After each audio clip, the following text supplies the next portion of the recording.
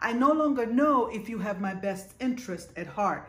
I no longer know the person that you have become. I no longer know if you're concerned about our now and future. I no longer know what satisfies you. How do I find healing and improve my life in the midst of an affair, in the midst of unfaithfulness? Let's talk about it.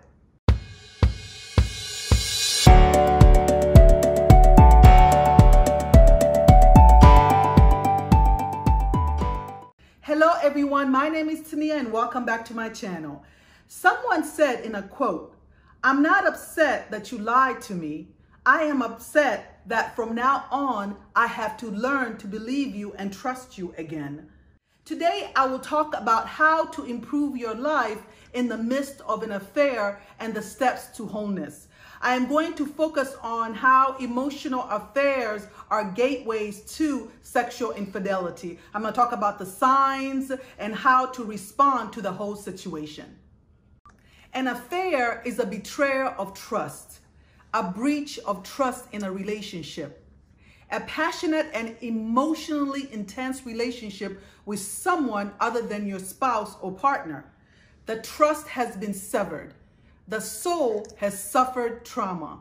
How do we find wholeness in all of this?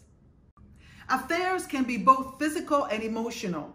Physical affairs are sexual in nature, a relationship between two people who may engage in various uh, sexual relations. Emotional affairs lack sexual intimacy, but has intense emotional intimacy that can easily evolve into sexual affairs. Now, there is um, sharing of private thoughts and dreams inappropriately in an emotional affair. So these affairs are both threatening to the primary relationship. Listen, there is good news though. Most marriage counselors report that when your marriage is uncaring, cold, and distant, or uh, has suffered unfaithfulness, does not mean that your marriage is dead or useless. Couples can rebuild trust and commitment through forgiveness. And when the cheating spouse, ooh, that was judgmental, um, when the deceiving spouse, that's kind of rude. Okay, when the offender, the spouse who has stepped out of the marriage shows ongoing interest to turn from their dysfunctional ways to turn from their unhealthy choices towards the marriage. Now, before we move on, I just want to throw this in. The people who are having that inappropriate emotional relationship and those who want to entertain it are usually the ones who believe that emotional affairs are harmless. But most marriage experts view an emotional affair as a cheating relationship without the sexual component to it. It's even more difficult to end this type of relationship because of the soul entanglement, the false bond that has been created. It's a false bond because it is outside of the primary union. Everything done that is inappropriate outside the marriage relationship is false. Okay, so let's go through how an emotional affair can be a gateway to sexual infidelity. Again, an emotional affair is when your spouse finds intimacy and emotional connection with another person. This is a deep personal relationship with someone else through investing uh, emotional energy or investing of emotional time with each other. Uh, there is sharing of uh, inappropriate private thoughts and dreams and aspirations. These conversations cannot be discussed with the other spouse. Emotional affairs can easily escalate to sexual ones no matter how much your husband, and I'm talking through a wife perspective, no matter how much your husband would want to avoid it, no matter how committed he is in the marriage and family because of the, the bond that has been created, that false bond that has been created. When the spouse is invested in someone else, they begin to break away from their actual partner. So where are these connections coming from? The connections can come from Facebook. There's a Facebook friend through a coworker of his, a neighbor, or an old flame, uh, which is most dangerous, especially when there's no, there was not a good closure between them when they ended the relationship. Believe it or not, these connections can also come through uh, your local church, local church that you attend with your husband, that there's a inappropriate friendship that goes on with a church member. It can also occur at different avenues, venues, or avenues such as a grocery store. So how can the emotional affair cross into a physical affair or a sexual one? When there is emotional dependency, which is um, the your spouse, your husband realizes that, you know what, I have her emotionally, but now I need all of her. I know, it's, it's, it's just sad. At this stage, he will not end this inappropriate exchange because he is addicted to either the person or how the relationship uh, excites him or both. The sad thing is he is dependent. Why? Because it is something new. It is, it is something exotic or forbidden. The relationship or the person excites his whole self. He feels alive again. He feels young again. What it really is, is selfishness. He is looking to uh, satisfy himself outside of the marriage relationship. So it's all what? Selfishness. Now he begins to withdraw from you and the family. This is the alienation stage. The alienation stage manifests when he starts to withdraw himself from the family to fully enjoy what? his selfishness. What satisfies him the most? He will seclude himself and ignore the marriage and the kids if you do have kids. Um, if he used to watch movies with you and the family, now he wants to watch movies all by himself. He will start a whole TV series and watch it by himself. He's wearing his earphones and his AirPods more than he usually would. He just wants to shut off from the whole entire family. Why the alienation stage? Why is he pulling away from you and the kids? Again, if you do have kids because it is too emotionally exhausting to invest in two relationships at once. Therefore, he can only give his all to one woman at a time. He also may feel guilty, a sense of wrongness when uh, he's around the family. And so uh, he's trying to stay away from the family because uh, he might feel a sense of a regret for what he's doing. But the whole thing really is selfishness uh, the only thing he's concerned about is making himself feel good. Let's walk through the signs of unfaithfulness and the wisdom keys to wholeness, uh, the steps to healing. In the alienation stage, you may notice the following signs. The phone, the phone, the phone. So many secrets are in these phones. Uh, Daggett, where's my phone? Okay, so I, I got my phone. Again, if only these phones could speak, right? Suddenly, the phone is always on silent mode. And these are the signs that you uh, may see. The phone is face down. The password is changed. There is a fight to get that password.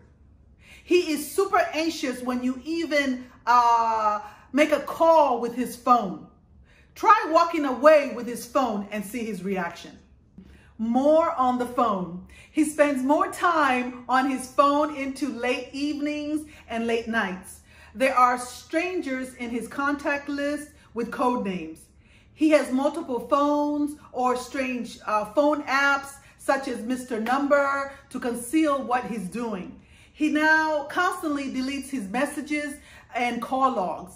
He starts to answer his calls outside, uh, outside of the house and different parts of the house alone and has random um, asks like, uh, I gotta go to the store uh, because he wants to make those calls uh, outside of the house. Calls and texts from unknown numbers are coming through. Um, he does not answer his calls when he's out and about or he rushes you off the phone when you're talking to him. Social media and other platforms uh, such as private chat rooms. He never had social media and now it's a new interest. Now more than ever, he spends more time on social media and tries to find new ways to connect with others, such as face, uh, Facebook groups or uh, certain portals for deep connections. Private meetings. He makes excuses to be with the other person uh, by going out of his way to work on the same project or be in the same committee. And this can be at church or even at work. He justifies uh, his uh, time spent on the phone or probably working online uh, because they're working on what? On that project. Anyways, there are unexplained visits to the mall, stores, and other outings to meet up.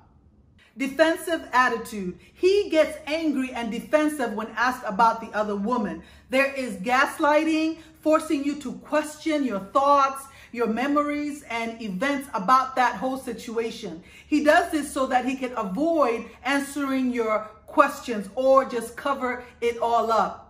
He might even comment uh, and say this, what do you mean I can't have a friend of the opposite sex? What do you mean I can't have my lady friends that I had before I met you?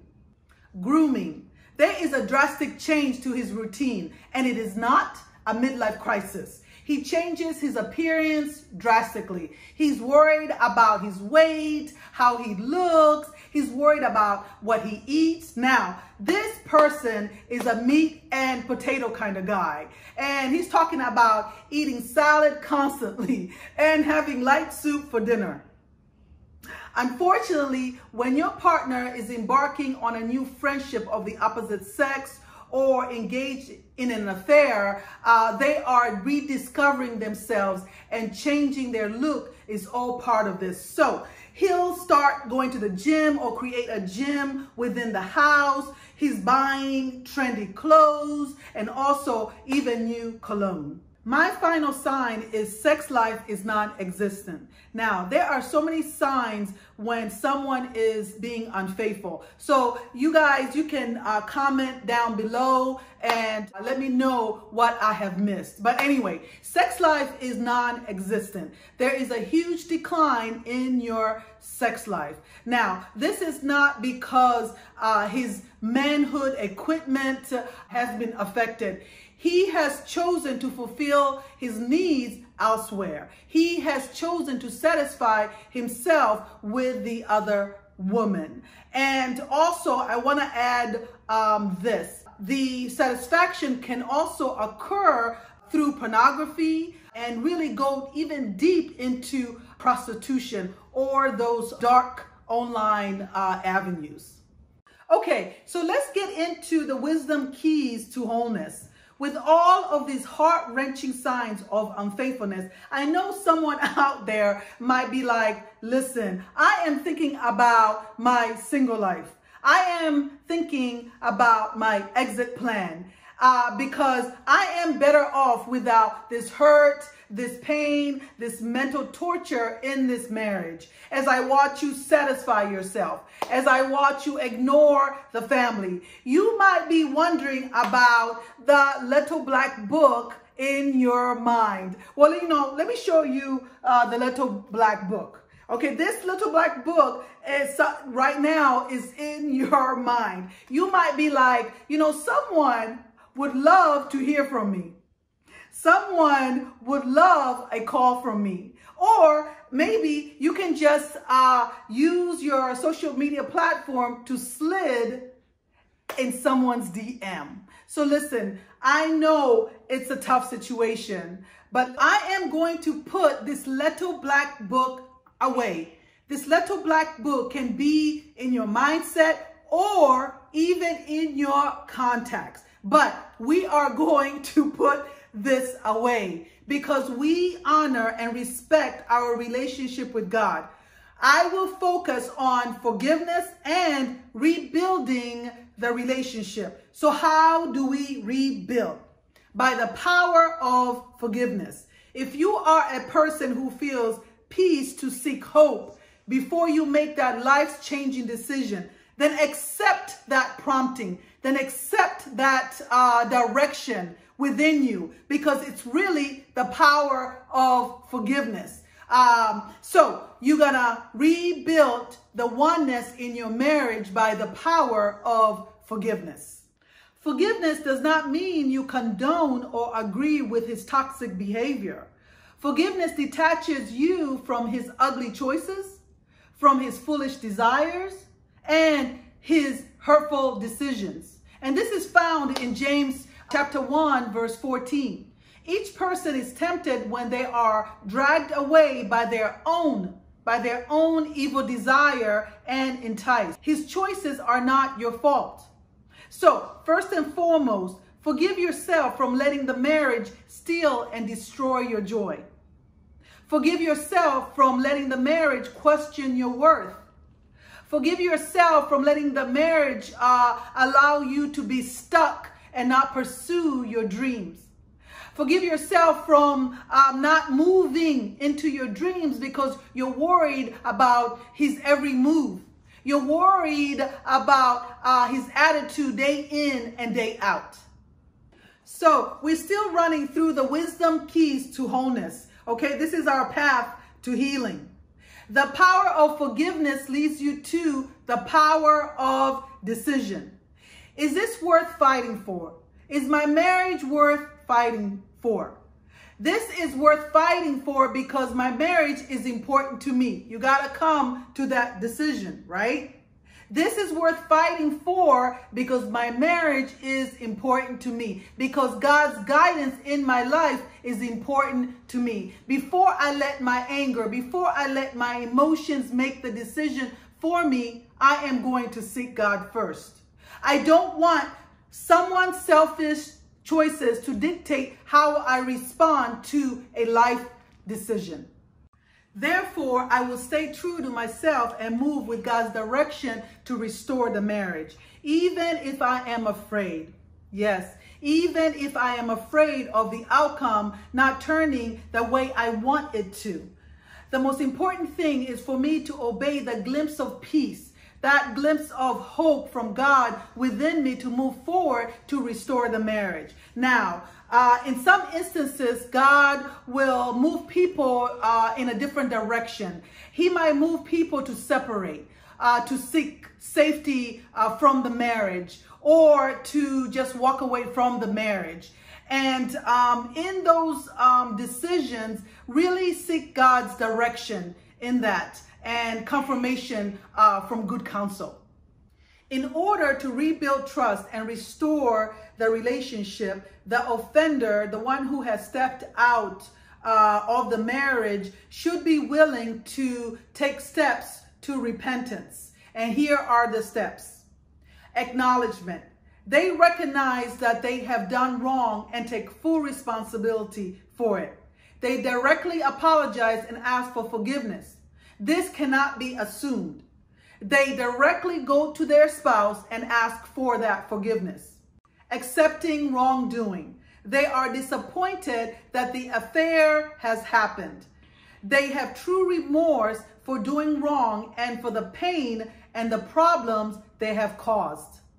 Closed door. They have closed the door and committed not to repeat the act again by putting the proper boundaries in place. They have uh, blocked them from their phone, blocked them from social media. They have stopped the private meetings and so forth. Willing attitude.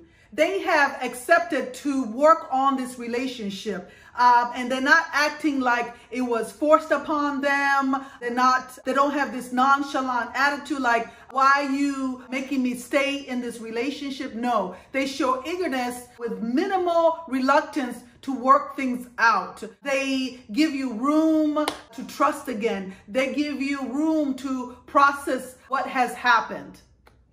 Okay, so how do you improve your life in the process of restoring your marriage? Number one, the power of recognition. It is important to uh, recognize that something is wrong in the marriage, that your marriage is in trouble. It is important to do this because uh, when you do not acknowledge that something is wrong, you live in denial. When you live in denial, you keep a cycle of pain, of worry, of anxiety in your marriage. When you um, acknowledge that this is really a hurtful union, a hurtful relationship by either an affair or selfishness or pride or anger, this then exposes the situation. Okay? This is important because it creates room for God to dispose this unhealthy relationship. Number two, seek God's peace. John 14, 27 says, Peace I leave with you, my peace I give to you. Not as the world gives, do I give it to you. Let not your hearts be troubled, neither let them be afraid. Now, um, seeking God's peace is really leaning to his instructions, leaning to his direction, letting him teach you how to respond to the whole situation. Now, some people might seek uh, peace from somewhere else. They might seek peace from these apps to spy on your cheating spouse. Listen, those things will not bring you peace. It'll just suck the energy out of you physically and mentally. Even you trying to investigate uh, the whole world to find out, you know, his every move. I know probably even the, the history in his uh, laptop is a gold mine of information, but those are just temporary peacemakers, okay? They'll just suck your energy and drain you physically. So drop the spy apps such as mSpy or Spy Ike, uh, even BeenVerified. Drop that down, remove uh, those apps. Uh, no, just remove it because uh, these will just bring you temporary peace. It'll just uh, cause you to be anxious uh, and nervous and just drain your mental and physical energy. Don't lean to your own understanding. Let God uncover what you can handle. Number three, detachment. According to Mark 10 8, it says, and the two will become one flesh. Okay, listen to that. And the two will become one flesh, not become one spirit. So, detachment is when you detach your spirit from the poisonous behavior, from the unfaithfulness. Okay, you need to detach your spirit from the toxic natural activity that is in your marriage that is stealing, killing, and destroying your joy. Once you detach your spirit from this unhealthy behavior, then the idolatry of marriage, uh, the, the idolatry of, of the marriage relationship is broken down. You no longer idolize your marriage, idolize your family, idolize your kids, okay? This gives God room to come and work in your marriage. You give God room to act in your marriage, to direct your marriage. You give God room to heal your marriage because you are giving him his rightful place in your heart as your first love. When you're detaching, you're not detaching from the oneness that God has joined you together. So respect your husband, um, uh, honor your husband, and also serve your husband. You're detaching from the foolishness of what's going on in the marriage. Detachment frees you up to pursue your God given purpose. When you detach your spirit, but still love the oneness, but still respect the oneness, I have to say that, but still honor the oneness and still serve as, uh, as a wife and also a helpmate in your marriage just makes room uh, for you to take opportunities that God has reserved for you. Because otherwise you'll be afraid to leave him alone. You're afraid that uh, he might be with someone else when you're gone, when you're gone to, uh, to a conference or something like that you know? So it just gives you room to pursue what God has for you. You can pursue your purpose because you're no longer afraid, afraid to move in your life, really. For example, if there's a conference um, outside of your state, you will attend that conference because you're no longer afraid to leave him alone in the house thinking that he might go and see the other woman, right? God will give you peace that he'll handle that situation for you, right? You're not consumed about what he's doing. You're not consumed uh, how he's neglecting the house, how he's neglecting the children. God will give you patience. God will give you peace to know how to handle those situations.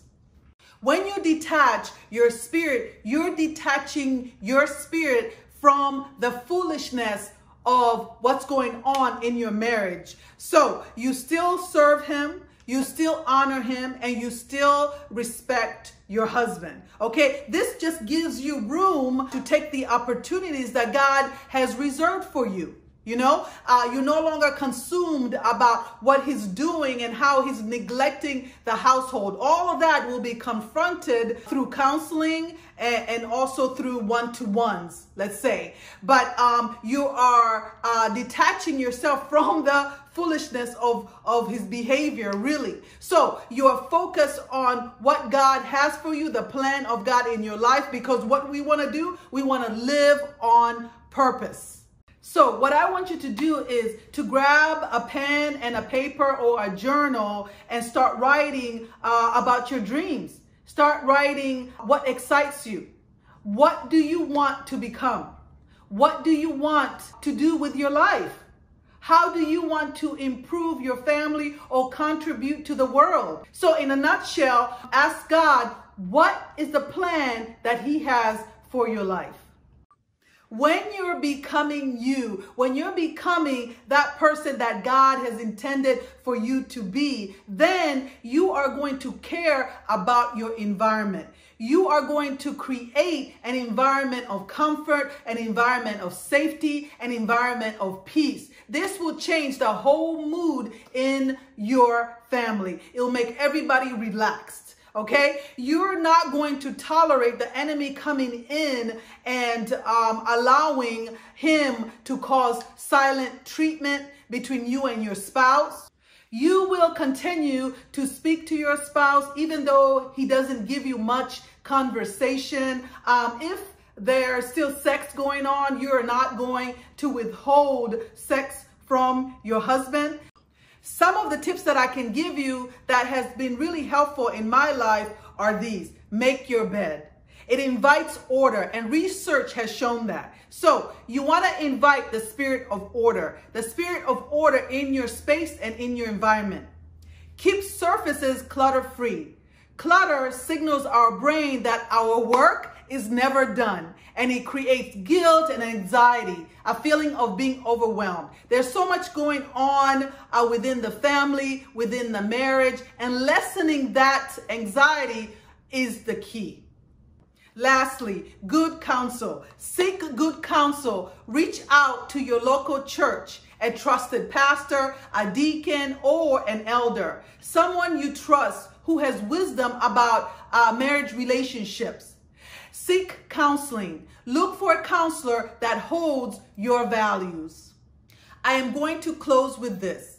Proverbs 16:3 says, "Share your plans with the Lord and you will succeed." What are the plans? What are the desires for your marriage? Commit them to the Lord and they will succeed. Well, I love you guys. Don't forget to subscribe and I'll see you in the next video.